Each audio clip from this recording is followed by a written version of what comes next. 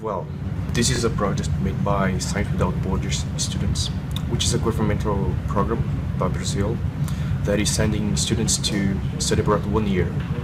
And during this year, we have to make a project during our summer vacations.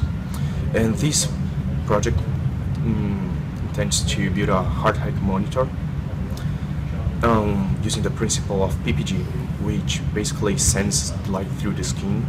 And using a receptor we measure the amount of light reflected.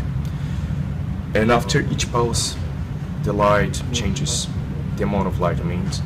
And using this we can calculate the estimate the pulse rate. This is the final design of our project.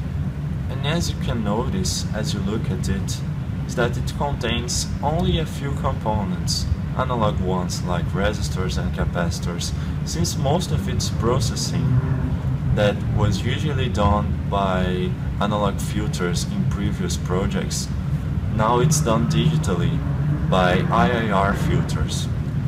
When you look at it, it seems quite clear that it's got three different stages. The first one is the sensor they're responsible for obtaining the signal from your finger.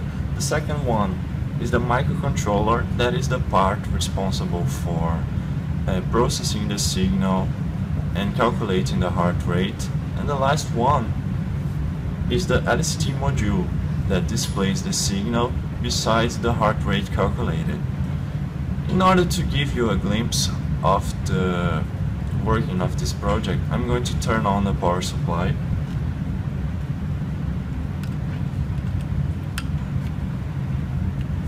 After about 2 seconds it displays the first screen, that is the introduction screen that presents our names and the supervisor name, Mr. Davis.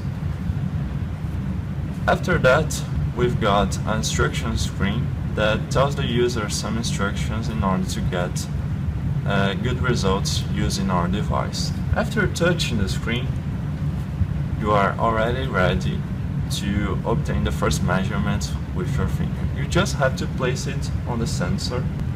You can notice that the screen changes.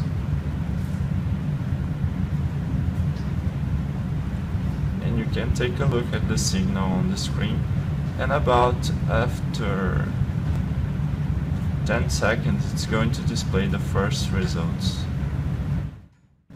The heart rate is measured using the time interval between peaks and the final value is an average of the last four measurements. Every two and a half seconds, the number is updated, discarding the oldest value. And if for some reason it cannot be estimated, the number is shown in red instead of black. The instruction screen can be accessed just by touching the display, and a new touch would return to the previous mode. Besides measuring the pulse rate, it would be possible to find heart problems using the waveforms or another parameters such as the oxygen rate with minor hardware changes.